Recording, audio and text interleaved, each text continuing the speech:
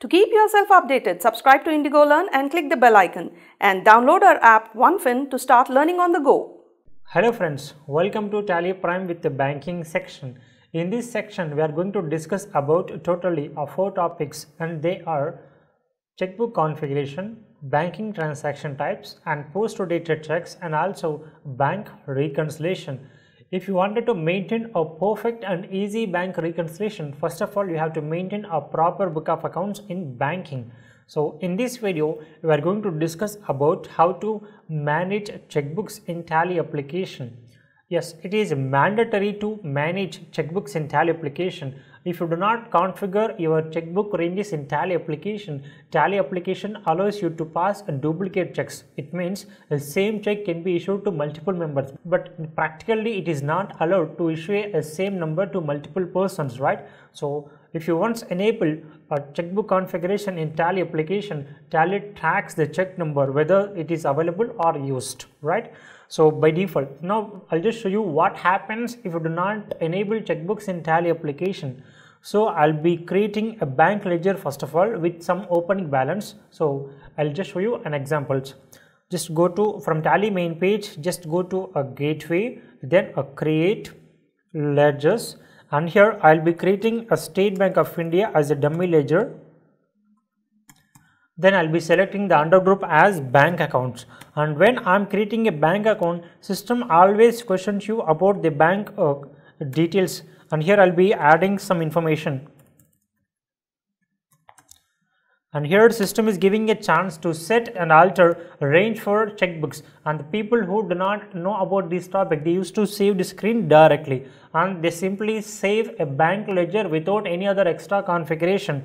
So in that case if you want to go to vouchers and I'll just open payment voucher. In the payment voucher I'll be selecting a State Bank of India and I'll be entering some values.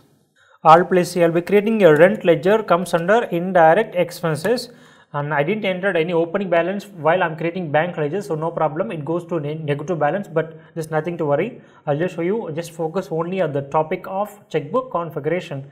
And here I'll be adding a rupees of 50,000 so just assume that you are issuing a check for rent which worth of 50,000 just press enter and here the system is asking you to configure the check number. I'll be adding the check number as 100101 is six digit check. So the 100101 is a check number which is value to 50000 and given for issued for rent right? I'll be saving the same voucher. Then next immediately i'll be passing some other vouchers with for salaries. Salaries comes under indirect expenses and here I'll be taking around rupees uh, 70,000 for salaries. And this term I'll be adding the check number as 100102 the immediate one. And again I'll be selecting same State Bank of India to issue for under payment of electricity bill. So while I am making payment for electricity bill wantedly I am putting the number as 100101 the check number which is already issued for rent for rupees of 50,000 but here system is not reminding me and system is simply accepted without reminding that the check is already used. The check is currently not available but the system is not reminding me. So there is a chance to commit mistakes in tally application if you do not configure checkbook configuration. So if you pass the vouchers like this in the future whenever you go for banking and again bank reconciliation it will be very difficult to complete your bank reconciliation as you have passed duplicate checks with multiple uh, transactions right? So it is hard to complete your bank reconciliation in time right? So in order to fix that issue to make it easy we are going to enable checkbooks. So i'll be creating one more new bank ledger. So just go to create ledger. Here this time i'll be creating an axis bank ledger. Comes under bank accounts and just come down just update your bank details as well.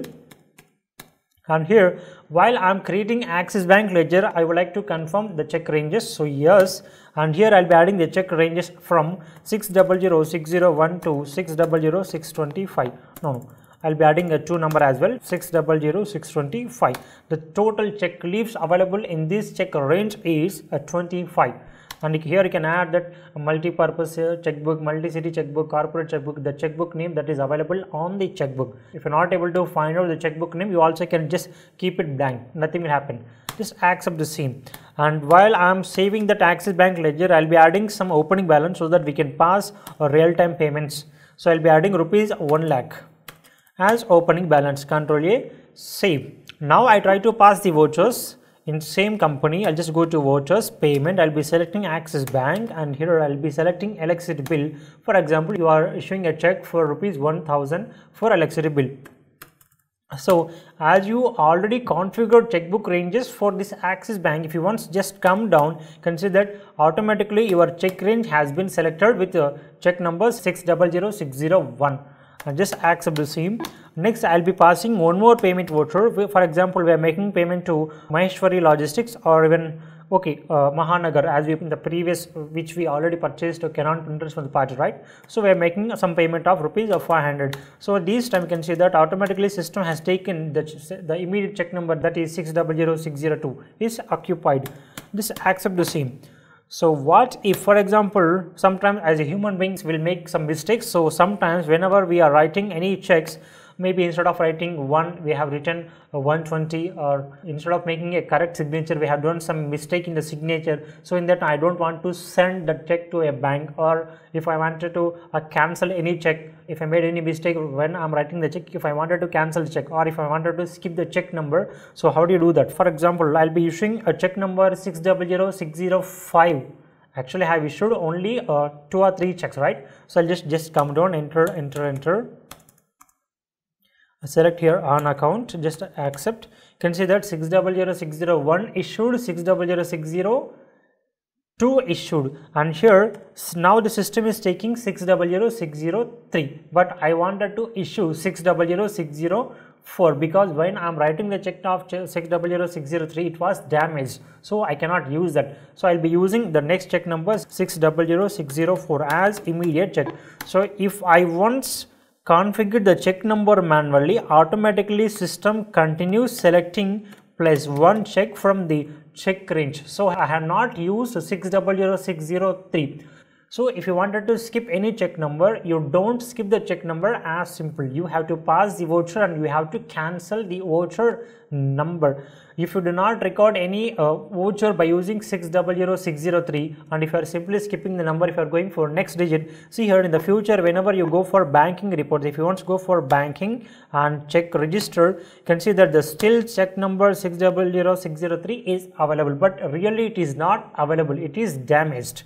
So in that case, instead of uh, skipping a simple check number, just go to vouchers and uh, just record Axis Bank and select just R plus C. I'll be creating a suspense account, it comes under suspense account always. Suspense account always comes under suspense account, accept the same. I'll be adding rupees just one and just record 600603 which I wanted to cancel. So just record the number which you want to cancel just save the voucher with the dummy values and again recall the last saved voucher by pressing page up then press alt plus x to cancel so that the check number will not be available further.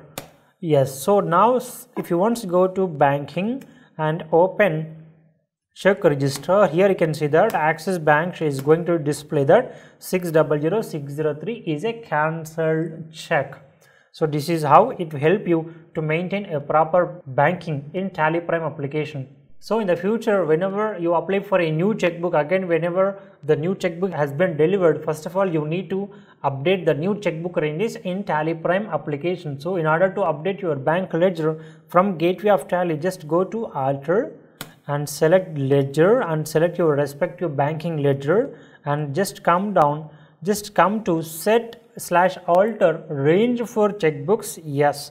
And here you can reconfigure the second line okay. This time you have got the uh, check in the between range of 800801 to 800825 so here we will be having a 25 checklist so the same thing is that 800825 will be available. After and once configuring the same in the future after configuring if you want to go to vouchers and while making any payments while making any payments after selecting the same, can see that system displays the both check ranges as the checks are available in the both check ranges. So if you are issuing a check from first range, select first range. If you are issuing a check from second range, select check range. For example, in the first check, if all the checks are issued, then system will not display the 600 range. If the checks are available, in that case only system will display both ranges. If the checks are not available in the 6 uh, series range, the system is not going to display a 600 checkbook range here. System will be displaying only one as the checks are available in 600 range and also 800 range system is going to display both ranges, right? So this is how we do.